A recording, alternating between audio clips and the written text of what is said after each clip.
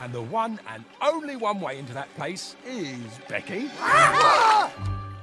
All you have to do is imprint with her, mate. Imprint? Imprint. Look her in the eye and say, Woo! And she'll be in sync with you. Now, look her in the eye. Yeah.